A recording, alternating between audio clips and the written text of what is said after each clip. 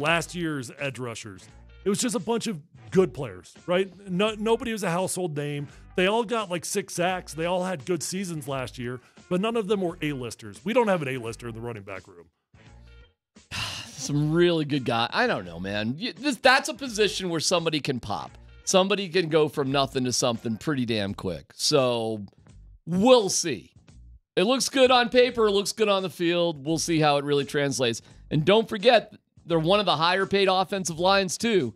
And if you're going to go with Bo Nix, you're going to lean on the running game, right? You're going to try to make that third, third and four, third and three. You're not going to be asking too much from them. That only goes so far, though, man.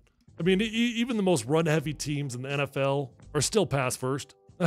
Maybe not pass first in philosophy, but at the end of the season, you're going to have more passes than well, you have it, it slows down. Well, it speeds up the game. It, it, you know, it keeps your defense on the sideline. You're not, you know, they're not doing a fire drill on and off. The games would be lower scoring, but you're going to be in more games. But isn't it funny when you say that? And I, I go back those first two Super Bowls. It was a high scoring offense. I mean, they're averaging. I think the the first Super Bowl season they averaged over twenty nine. The second year, right at thirty, almost mm-hmm. thirty one. And what were they? They're a running team. yeah. I mean, they they they're running for, and they're and they're dropping twenty nine and thirty on folks. But they probably had those couple years. Every game, they probably had six or seven explosive running plays. And when I say an explosive Oh, running yeah. play, I mean 15 yards plus, right? oh, easy. If you could do that in the running game, yeah, you can still. Dude, I, I watched him roll over Dallas and Mile High. TD didn't play the fourth quarter, and he had 185 yards through two and a half.